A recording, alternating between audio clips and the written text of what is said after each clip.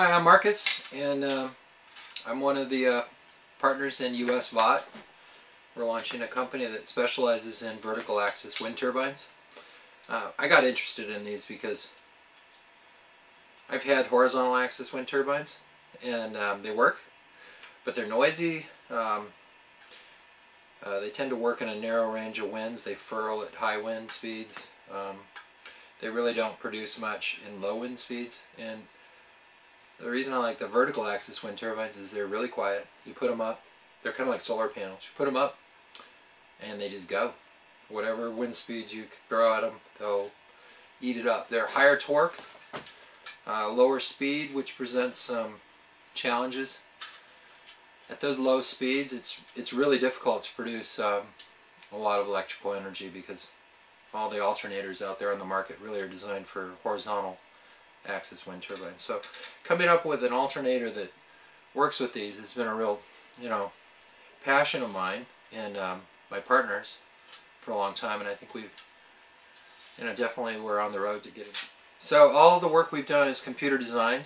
Um, started with modeling, computer analysis, and then we went to uh, design work. So all the parts are, you know, CAD drawn. Um, this is CNC wing rotor. Holds the wing on, right angle. Basically, we've got these on the, the wings. Um, and the wings are all cut by CNC machines. Alright, we get these wings cut, they're CNC cut. And they come like this.